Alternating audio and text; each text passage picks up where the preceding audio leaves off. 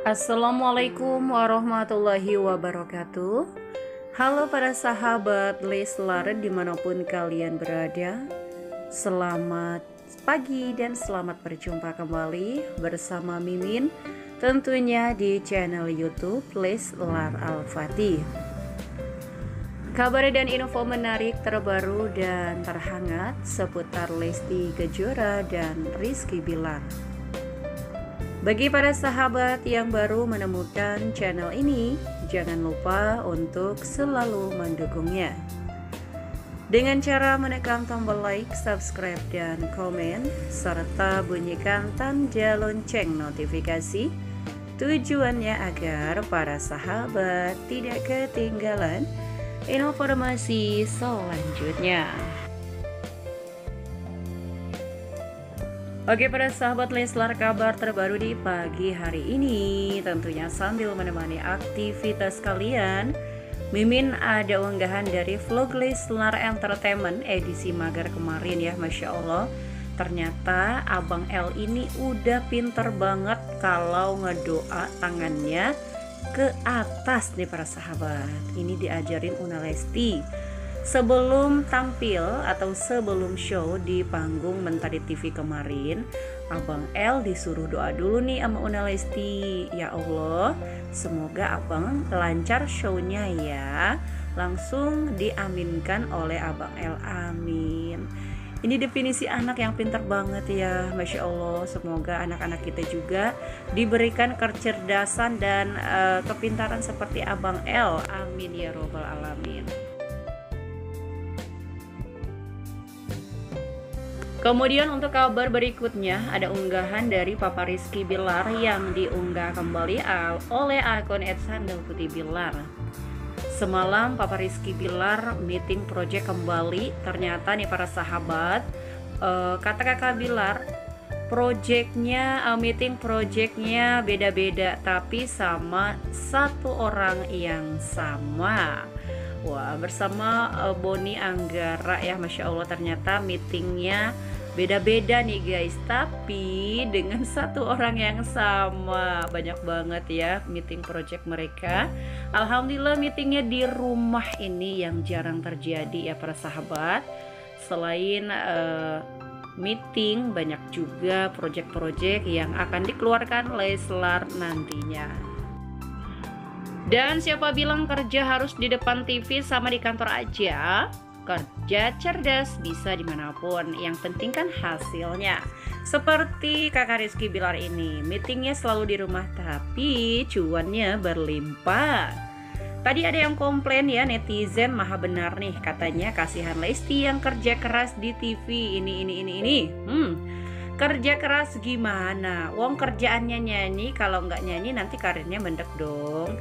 Lesti mah uh, disuruh nyanyi mah senang apalagi kalau dapat bayaran tuh luar biasa ya Masya Allah karena memang basicnya penyanyi wajar kalau Una Kejora selalu tampil di televisi dan kalau kakak Rizky Bilar tidak tampil di TV bukan berarti dia tidak menghasilkan uang kerja di rumah tapi kerja menghasilkan cuan.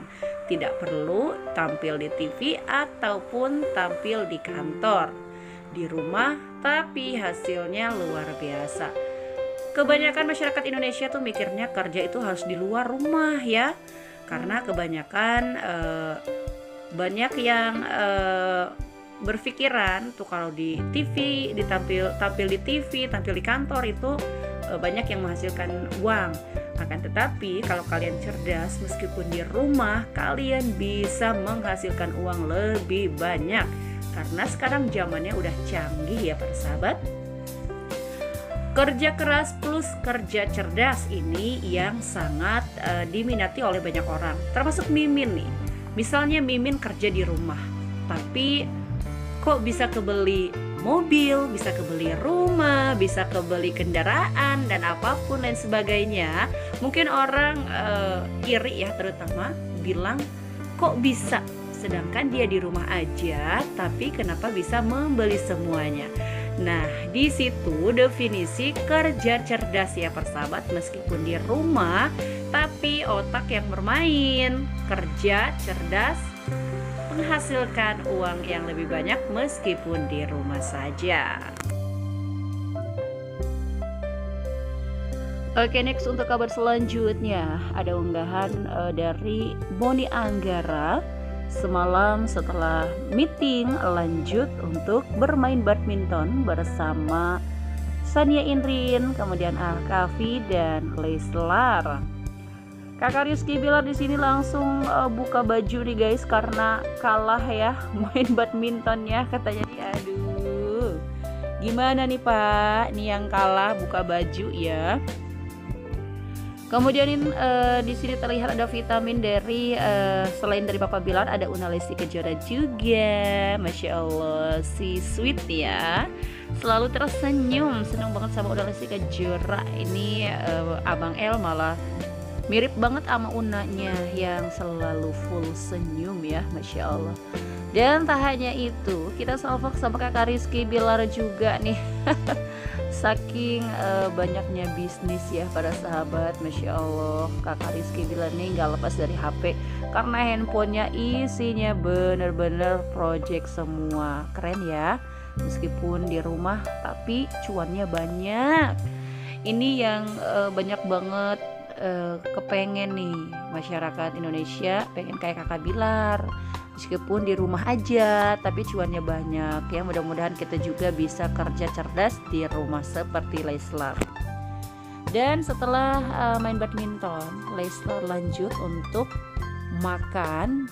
Dan tidak hanya makan saja ya para sahabat Leslar memberikan surprise untuk Pak Ferry Fernandes yang berulang tahun kemarin Happy birthday buat Pak Ferry Fernandes. Masya Allah Terima kasih banyak kata Pak Fer. Udah dikasih kejutan sama Leslar Makasih ya. Thank you buat Rizky Bilar dan Lesti Kejora. Baik banget. Udah dikasih hadiah Dikasih surprise juga